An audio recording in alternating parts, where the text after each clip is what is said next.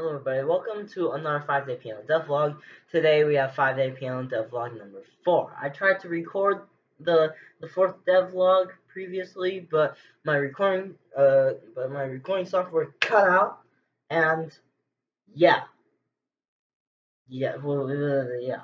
Uh, I don't know what to say. Anyways, 5 day piano devlog number 4 after 1 month of 5 day piano devlog number 3 which didn't gain as much popularity as Fact Piano Devlog 1 and barely exceeded half of its view count. Well, yeah, whatever.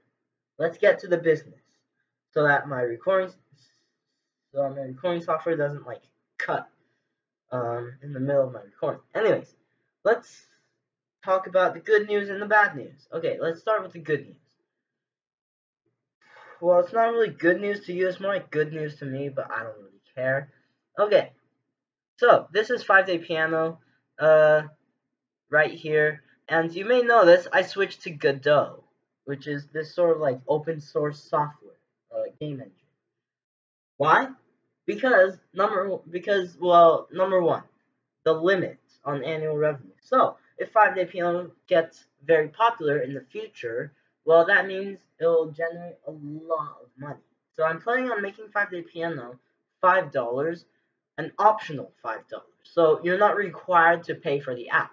So it can either be free or $5. Depends on if you're generous. Wink, wink. Um, so, if 5-Day Piano gets extremely popular, and yeah, I expect a lot of money and Unity, Unity Personal, which is the plan I'm using right now to develop 5-Day Piano. Um, their like maximum annual revenue limit is 100k, and then you're forced to pay for Unity Pro, which costs $150 per month or $1,800 per year. So if I get like 100k dollars uh, worth of annual revenue, but my uh, my annual revenue doesn't pass that, well, that means that Unity will just uh, burn up all my money. So that's incredibly bad because I do want to make money on this and I want to keep all that money.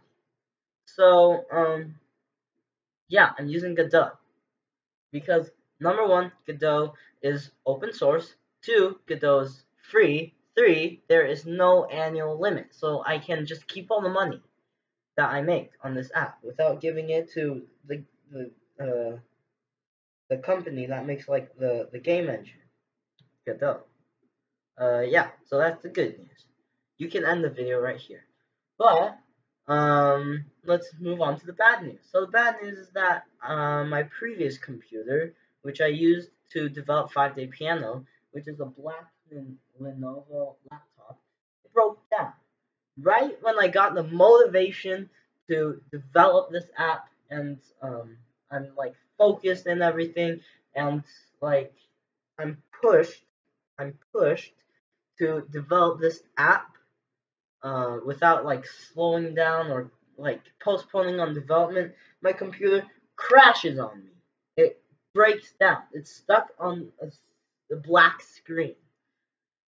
So uh, uh, my dad, he gave me a silver computer, which is uh, like older than the black computer. So the black computer is 2015, and the silver computer is like 2011 ish. It's incredibly old. Um, it runs a glitchy Windows 10, and it doesn't really have many files. So development will be slow again, and I'm afraid I'll have to post postpone 5-Day Piano until further notice for the fourth time ever. Why do I keep doing this? Anyways, that's all the bad news and the good news today.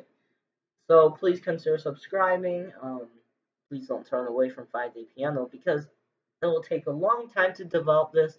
I'm expecting to finish development by by summer of next year or, or something, or maybe like in in a few years. Who knows? I, I don't know. I don't really have a specified like date of delivery on this. I don't have a specified uh, finish date. After all, this is the prototype version of the app.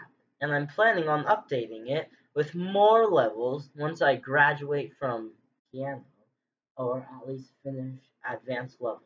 So yeah, thanks for watching this video. Please don't turn away from 5 Day Piano. Subscribe and like the video.